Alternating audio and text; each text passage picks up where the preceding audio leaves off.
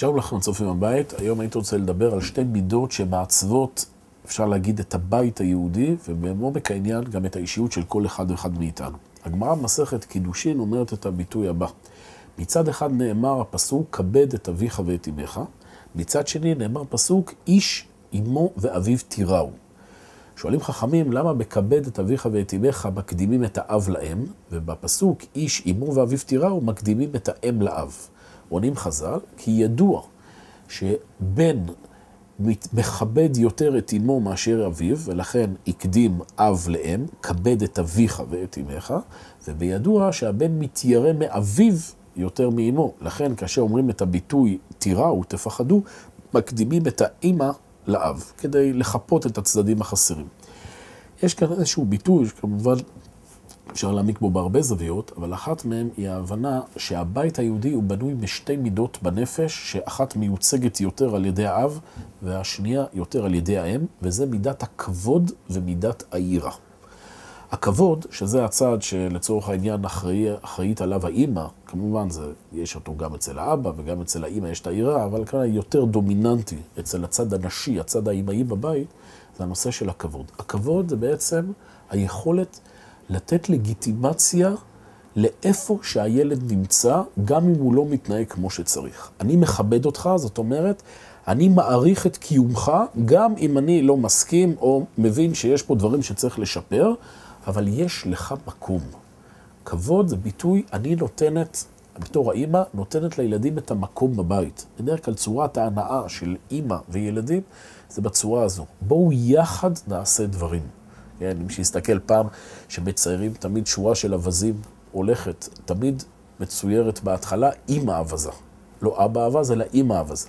כי אימא, זה עניינה, ללכת יחד עם הגוזלים ולהוביל אותם יד ביד.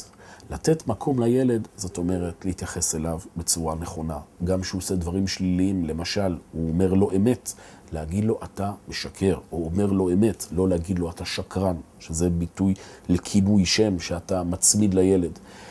לתת לו אפשרות בחירה. אסור לצאת מהחדר אחרי שמונה בערב, כי הולכים לישון, אבל אתה יכול לבחור אם לישון עם הציפית האדומה או הציפית הכחולה. לתת מקום שיהיה רק של הילד בבית, מכתבה משלו, כיסא משלו, מקום משלו ליד השולחן, חדר משלו זה כבר קצת בעיה אחרת, אבל זה נושא אחר.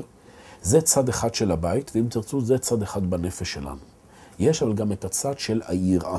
יראה, בניגוד לכבוד, שעניינו לתת את המקום לאיפה שאתה, יראה זה אני ירא ממשהו, אפשר להבין כמובן ברמה הפשטנית של פחד שהוא יעשה לי משהו, אבל הצד היותר עמוק של היראה זה הכרת הפער ביני לבין איפה שאני צריך להגיע.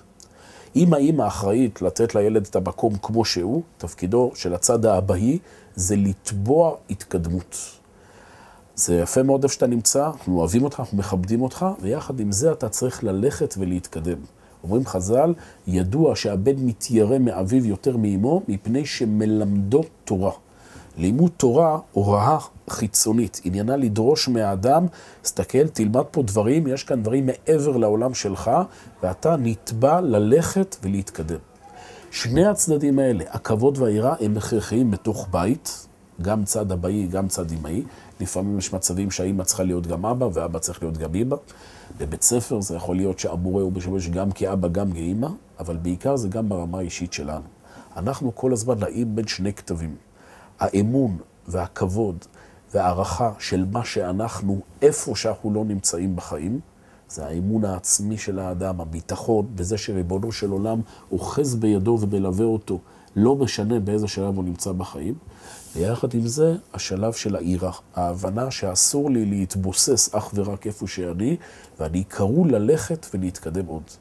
אם אדם נתקע באחד משני הצדדים, זה דבר לא טוב. אם אדם נשאר רק ברמה של הכבוד כלפי עצמו, כמו שהם אוהבים להגיד, הזכות, החובה לכבד וכולי, זאת אומרת, מאוד מאוד חשוב שייתנו לבני אדם כבוד, זה נכון. אבל אז יש חשש שאתה מאפשר לחולשות להישאר איפה שהם.